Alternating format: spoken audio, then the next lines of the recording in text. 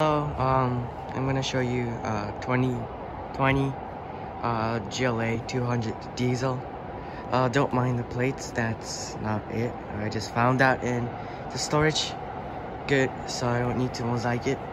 First, uh, front, I like the design. The uh, small light, it's really cool. Um, the wheels, it's AMG line wheels.